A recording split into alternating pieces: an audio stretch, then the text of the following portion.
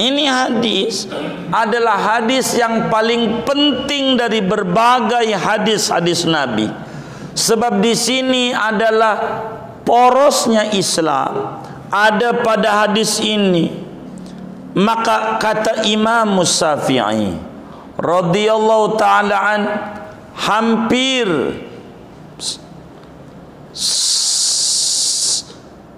sepertiga daripada hukum itu ada di dalam hadis hadis niat. Muanya ada inamal amalu bin niat ini saudara.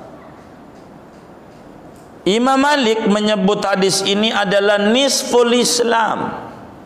Abu Dawud radhiyallahu taala Abu Dawud yang punya Sunan Abu Dawud menyebutkan hadal hadis nisful Islam. Hadis ini mencakup 50% dari seluruh ajaran Islam. Coba. Sebab berbagai ilmu ada dalam hadis ini. Wudu butuh hadis ini. Wudu. Apalagi mandi butuh hadis ini. Mandi. Tayamum butuh hadis ini. Sebagai dalil apalagi solat butuh hadis ini. Butuh. Maka niat niat niat niat niat. Puasa butuh hadis ini. Zakat butuh hadis ini. Haji butuh hadis ini. Butuh. Hadis ini nih butuh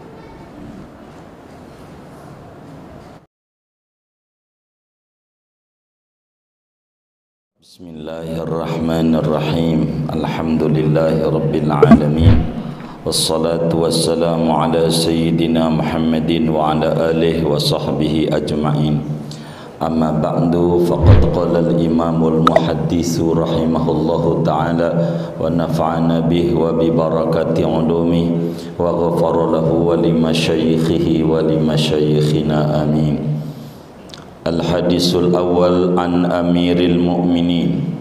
Hadis yang pertama datangnya daripada Amiril Mu'minin.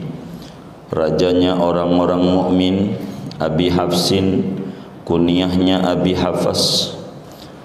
Umar bin Al-Khattab Nama aslinya Umar bin Khattab. Radhiyallahu anhu Qala berkata Sayyidina Umar سمعت رسول الله صلى الله عليه وسلم يقول Aku mendengar akan Rasulullah sallallahu alaihi wasallam padahal bersabda Innamal a'malu bin niat Hanya saja segala amal itu dengan niat Wa innama likulli imri'in manawa Dan hanya saja bagi tiap-tiap orang Yaitu apa yang ia niatkannya faman kanat hijratuhu ila Allah wa rasulih.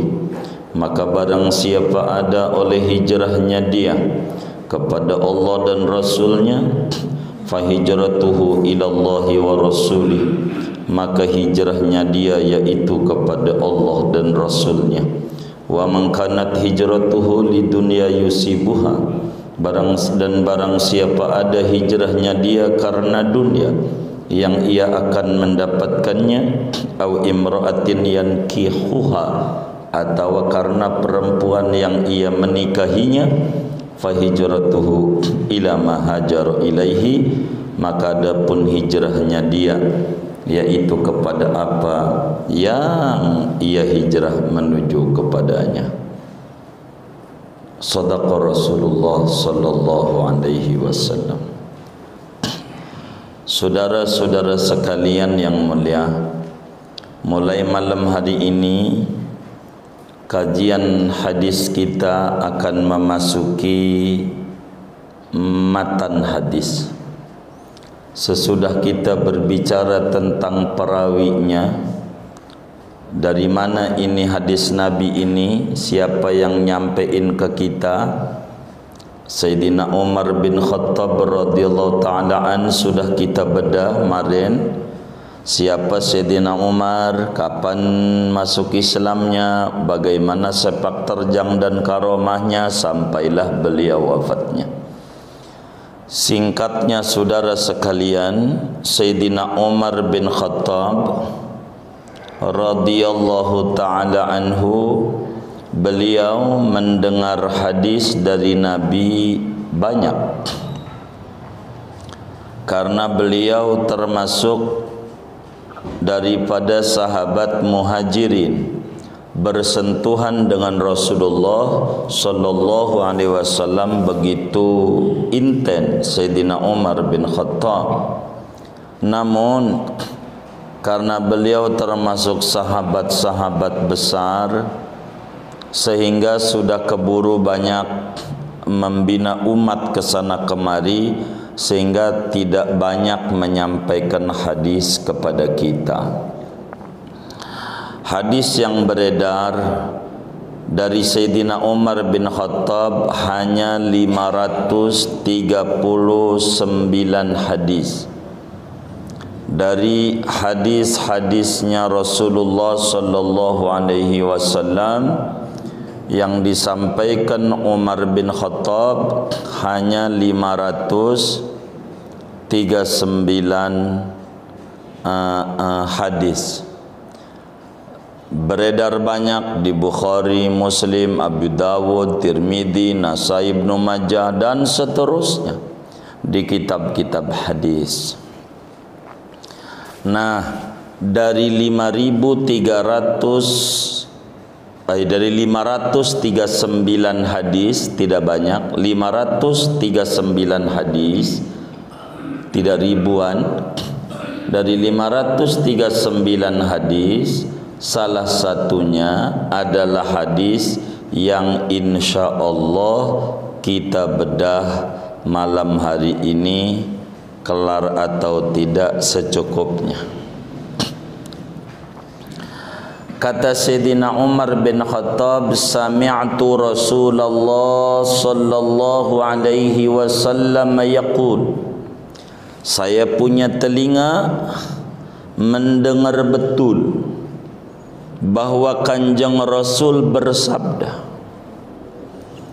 Nabi menyampaikan ashabi udulun. Sahabat-sahabat kutu orang-orang adil orang baik tidak pernah bohong. Kalau udah ngomong sami'tu Rasulullah dia dengar apa yang Nabi sabdakan. Apa kata Nabi?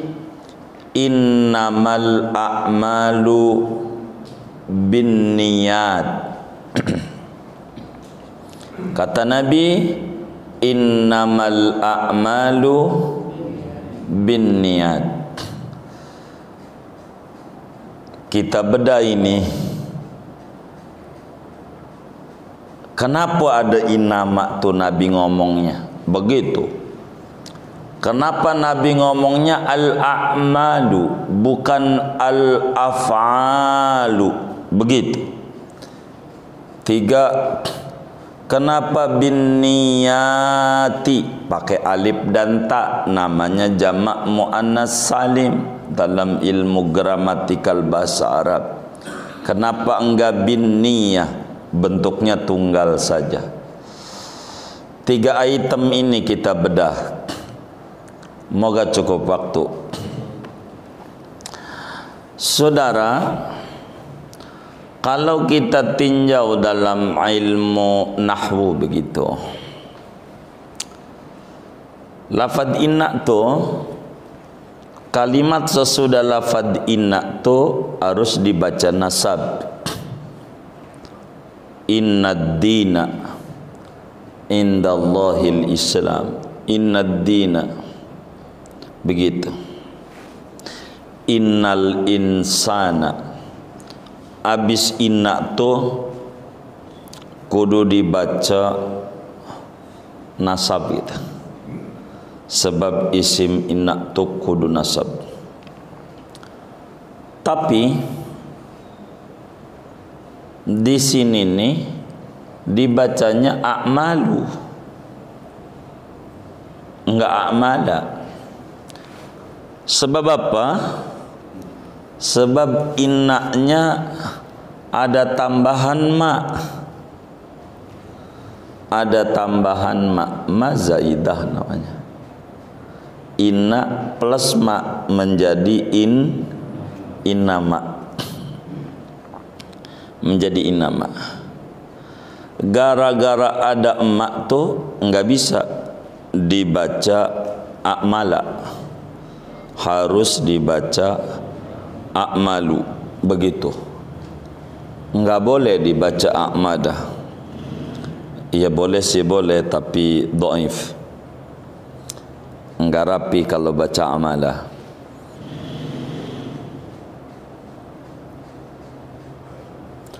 Di dalam Alfiya Ibnu Malik tu Al-Imam Ibnu Malik menyatakan wa waslu ma hurufi mubtilu.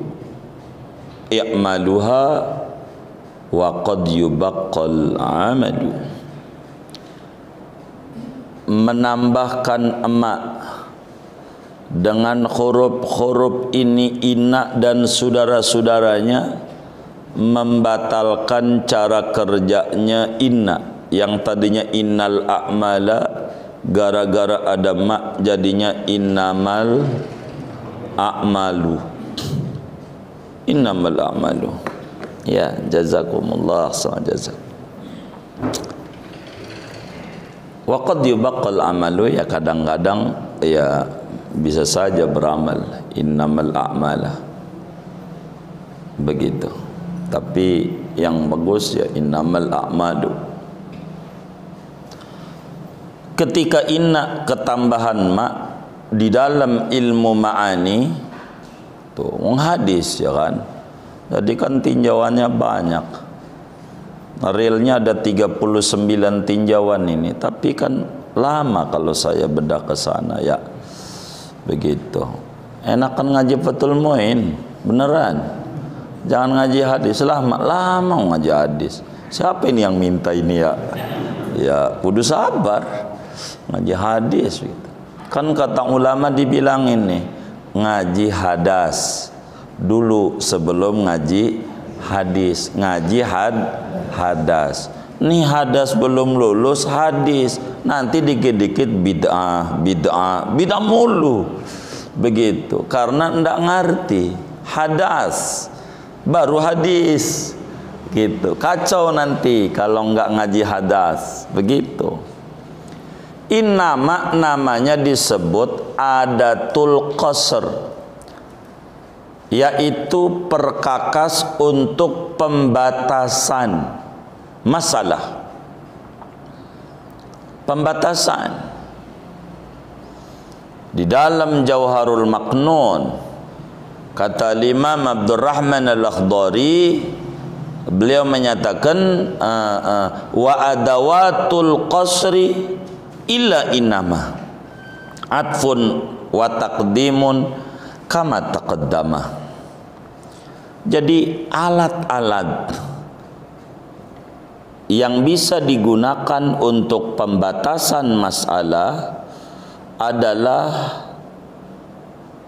pakai ila bisa pakai inama kalau ila tu la ilaha illallah. Tu begitu. Namanya qasr tiada tuhan kecuali Allah. Apa tu maknanya? Biar ngerti laknya dibuang ilaknya dibuang.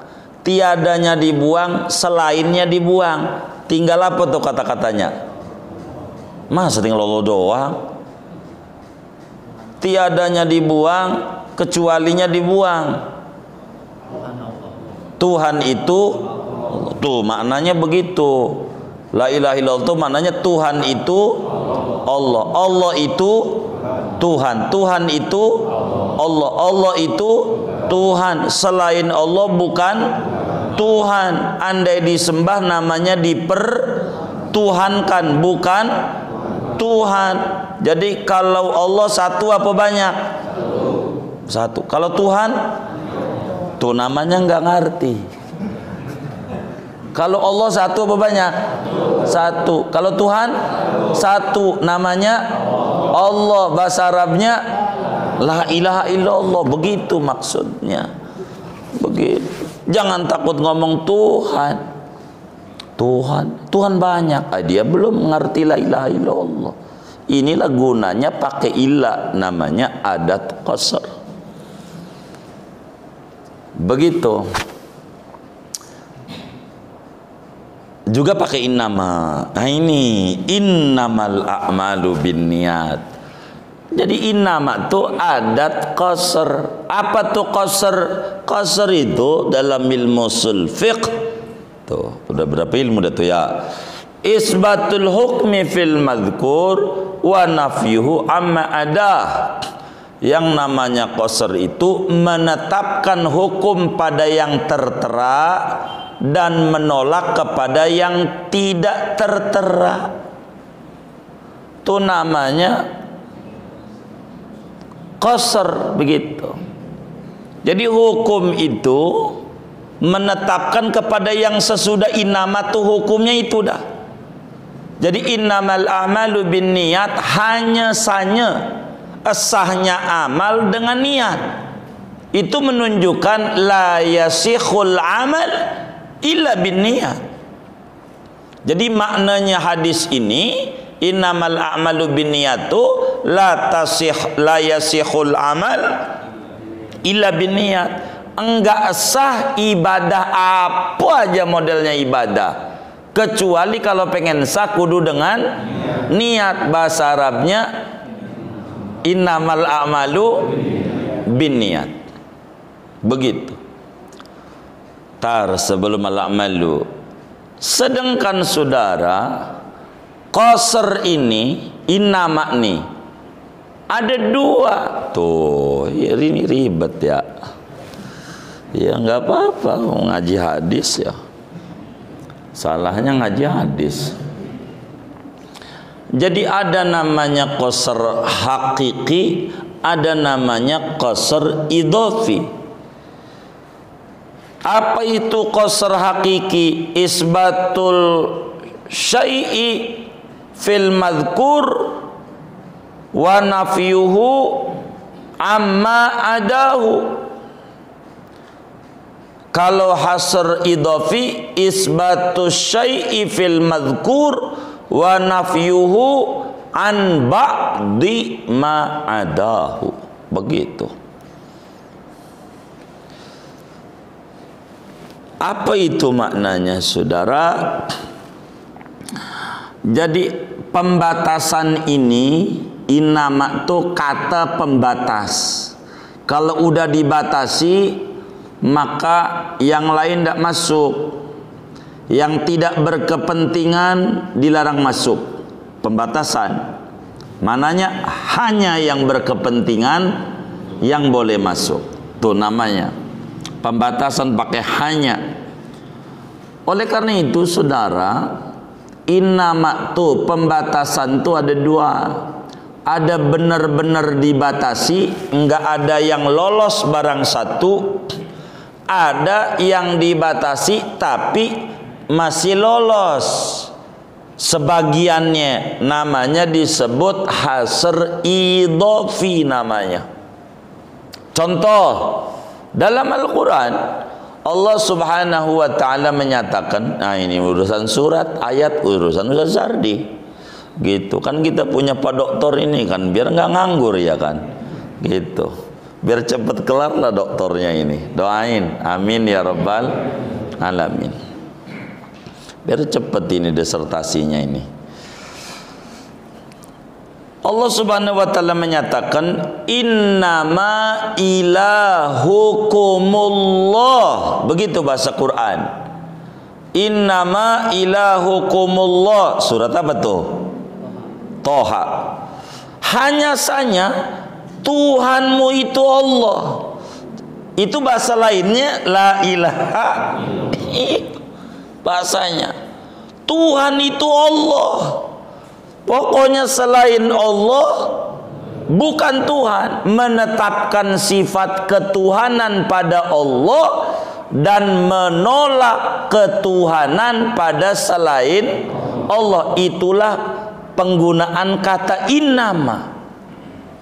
Ketika Nabi menggunakan innama tuh begitu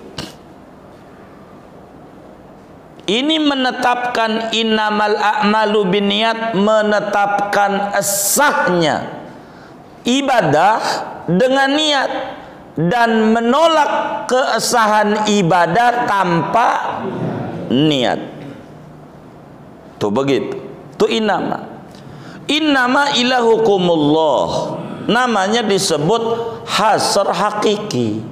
Pembatasan ketuhanan hanya Allah. Tapi ada ayat yang lain pakai innama, innama ilahukum ilahu wahid. Tuh, pakai nama. Hanya saja Tuhanmu yaitu Tuhan yang bersifat wahdaniyat. Loh, emang wahdaniyat doang sifat Allah? Masih ada yang lain.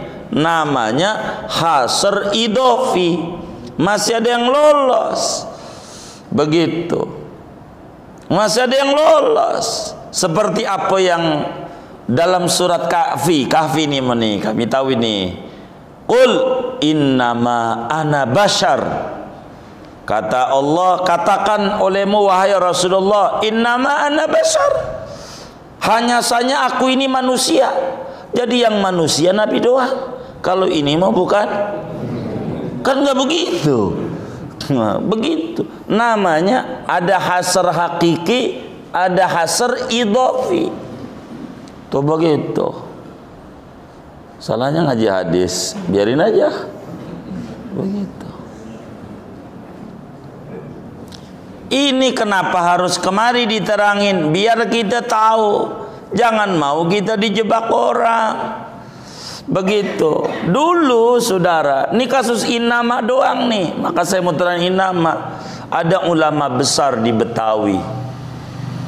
Ulama besar, lama di Mekah.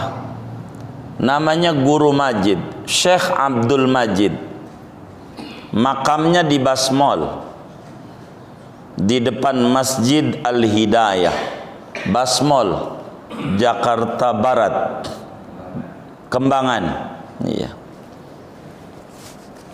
itu makamnya di depan. Guru Majid Allah yarham Kiai Haji Syaifuddin Namsir. Rahimahullah rahmatullah nih Buya ini bercerita panjang kasus ini. Guru Majid itu sezaman dengan A.A. Hasan Bandung Hasan Ban Bandung. Persis. Iya. Bukan percis. Persis. Toko Persis.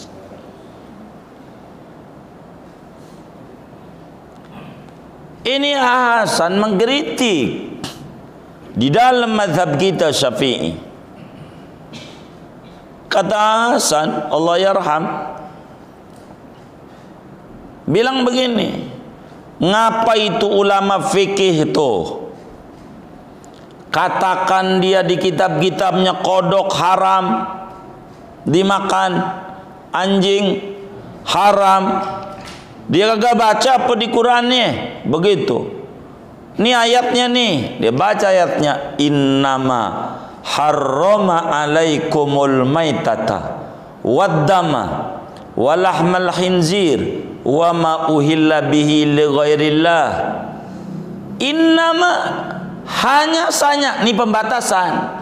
Innama harrama alaikum. Hanya saja Allah haramkan atas anda. Al-maitata bangkai. Wadama darah. Walahmal khinzir. Babi daging babi. Wa ma uhilla bi sesajen. Ini Allah pakai inama yang haram ini doang. Empat. Apa tuh? Bangkai. Darah. Daging babi. Sesajen ngapa itu kiai-kiai itu di fikih-fikih itu nulis anjing haram, kodok haram, apa nggak nama-namain hukum? Ah, begitu. Debat terbuka kala itu. Sama guru majid, ulama Betawi. Ulama Betawi itu hebat-hebat. Begitu. Hebat. Debat terbuka di sini ada panggung.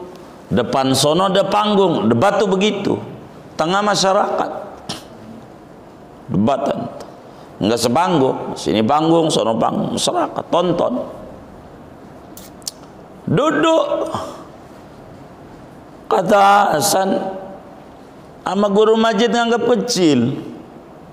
Masalahnya ada ulama besar dari Perak nama saya Usman Perak, makamnya di Rawa Buaya. Ulama besar itu dekat dan Mogot itu. Banyak kudu ziarah. Jangan kita gagal ziarah sama ulama-ulama itu. Jadi sering ziarahnya ke Ubaru. Jangan Ubaru, ulama. Jangan Ubaru. Begitu. Gitu. Oh lu udah ziarah ol? Waduh belum ke mana-mana udah ke sono belum ini. Bagaimana nih ulama-ulama hebat ini beneran?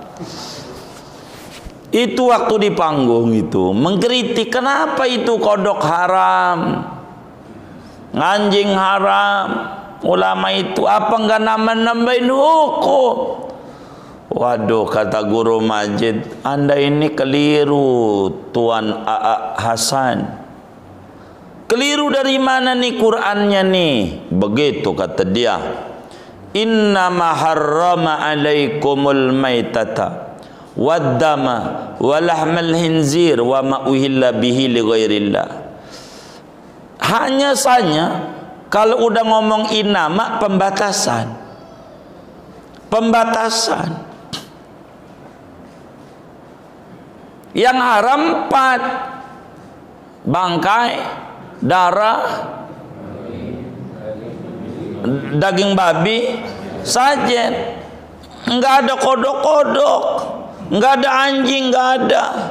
Ngapa main tambah-tambahin aja? Aduh Ahasan ini kurang perhatian. Begitu kata guru majid. Innama itu apa? Innama itu adat hasr.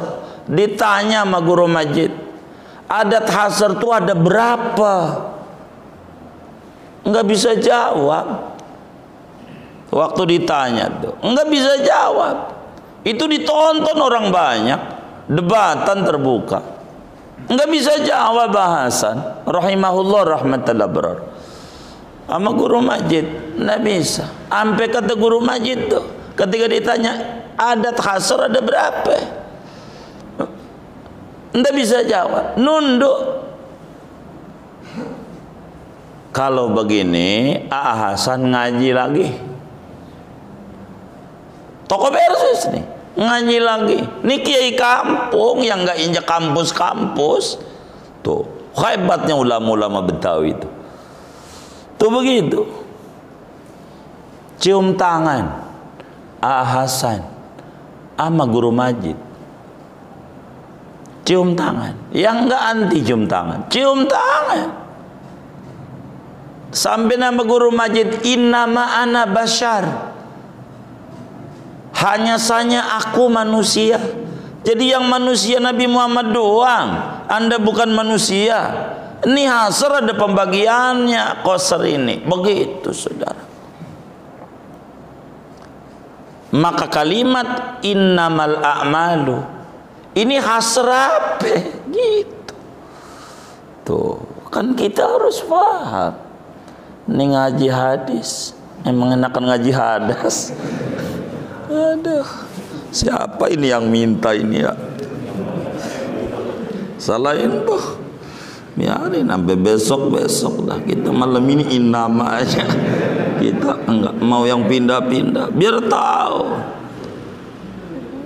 Imam Jalaluddin As-Suyuti di dalam kitab Al-Itqan fi Ulumil Quran pada jilid 2 tu beliau menyatakan yahtajul mufassiru ila kitabillah wa sunnati Rasulillah ila arba'ata asyara fanan min fununil ilm. Orang kalau pengen terjun di Al-Qur'an, pengen terjun membedah hadis Nabi, perangkatnya kudu menguasai 14 disiplin ilmu, kudu jadi profesor di 14 disiplin ilmu. Enggak bisa, enggak menguasai 14 disiplin ilmu. Untuk mengeluarkan hukum itu susah.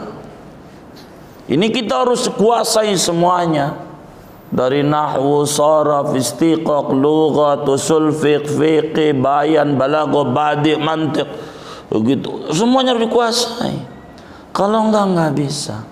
Maka yang enak ngaji hadas.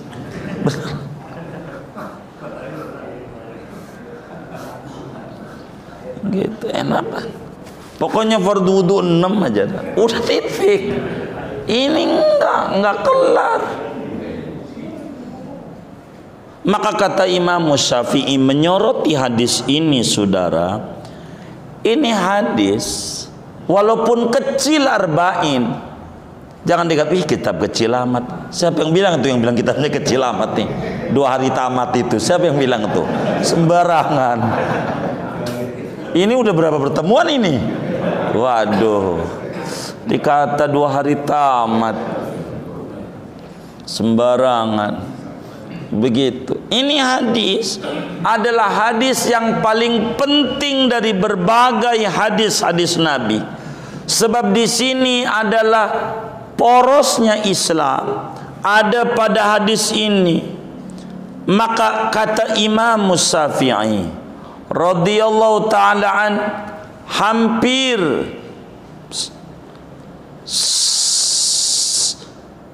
sepertiga daripada hukum itu ada di dalam hadis hadis niat muanya ada inamal amalu bin niat ini saudara Imam Malik menyebut hadis ini adalah nisful Islam. Abu Dawud radhiyallahu taala Abu Dawud yang punya Sunan Abu Dawud menyebutkan hadal hadis nisful Islam. Hadis ini mencakup 50% dari seluruh ajaran Islam. Coba. Sebab berbagai ilmu ada dalam hadis ini. Wudu butuh hadis ini. Wudu. Apalagi mandi butuh hadis ini. Mandi. Tayamum butuh hadis ini. Sebagai dalil apalagi salat butuh hadis ini butuh maka niat niat niat niat niat puasa butuh hadis ini zakat butuh hadis ini Haji butuh di sini, butuh. Hadis ini nih, butuh. Jadi hadis ini biar kata atu panjang. Orang satu laut biar kata satu satu laut lakan di dalamnya kerang aja ada berapa ikan ada berapa biar kata satu laut Hadis Nabi itu kan bahrun. Hadis Nabi itu bak lautan. Makanya ngomongin Nabi Muhammad nggak ada habis ya. Begitu. Ini hadisnya aja. Cuman ada orang nggak paham. Hadisnya dipelajari. Yang empunya hadis nggak boleh dipelajari. Itu mananya nggak nggak boleh maulid. Tapi kitabnya dibaca nih bagaimana orangnya. Yang kayak begini orangnya. Ini namanya nggak benar. Kayak sebagian teman-teman kita, ama kita dia gedak, tapi buku-buku kita dibaca dia. Bang Awi ini, begitu kerjaannya. Aduh ayah, ada yang Awi, begitu. Ini bahaya ini, tidak ngerti. Hadisnya dibaca, maulidnya bid'ah. Ini bagaimana? Orang iya hadis ini daripada maulid ini, saya belum maulid. Ini harus dibaca hadis. Tidak bisa kalau kita nggak ngaji hadis itu. Panjang hadisnya Rasulullah itu saudara. Dalam. Maka ulama menyoroti. pentingnya ini jadi innama adalah adatul hasr dan hasr di sini qasr bahasa lain adalah qasr hakiki yaitu isbatul hukmi fil madkur wa nafyuhu amadah. Membatasi hukum pada yang disebutkan. Sehingga maknanya la yasihul amal illa binniyat. Maknanya tidak sah amal kecuali dengan niat. Dengan niat ini innama.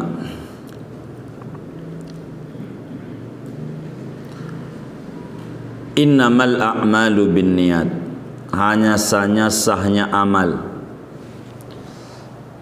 Ada amal ada af'al. Ada amal ada fi'il. Fi'il perbuatan amal pekerjaan. Begitu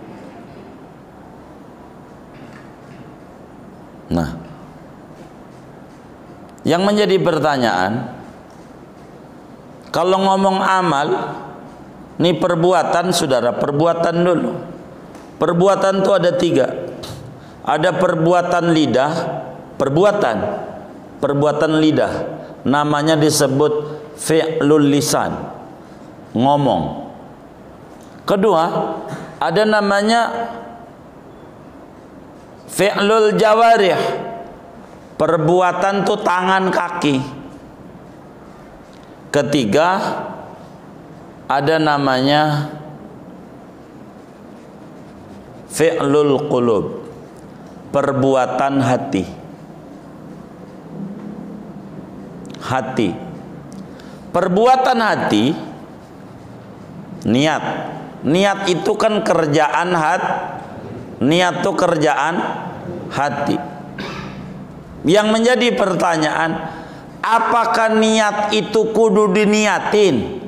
Sebab nabinya ngomong innamal a'malu bin niat sesungguhnya sanya amal dengan niat. Bukankah niat itu adalah amalul qulub? Pekerjaan hati dan itu juga amal. Apa kalau niat itu kudu niat lagi? Niat. Niat wudhu Niatnya kudu niat. Saya niat mau niat wudhu. Saya niatnya kok kudu niat lagi. Maka karena itu rahasianya kenapa Nabi tidak ngomong innamal afalu ngomongnya innamal a'malu sebab mau pembatasan. Amal di sini adalah amalul jawarih terbatas pada pekerjaan dan ucapan bukan amalia amalia hati. Yang mau kita komentari adalah amal ucapan dan pekerjaan anggota tubuh bukan pekerjaan hati kalaulah yang dimaksud pekerjaan hati juga kudu diniati maka nabinya bakal bersabda innamal af'alu bin niat tapi ketika Nabi bersabda innamal a'malu bin niat mananya pembatasan pada pekerjaan anggota tubuh dan ucapan lidah saja. Oleh karena itu al a'malu ada alnya. Al apa ini? Apa alil jinis? Apa alil istighraq? Apa alil ahdi? Tapi kata si Obek jam 7 suruh berhenti saya ngomongnya. Segini aja malam hari ini jadi inama aja kita ngaji minta redonya wis segitu tuh ngaji inama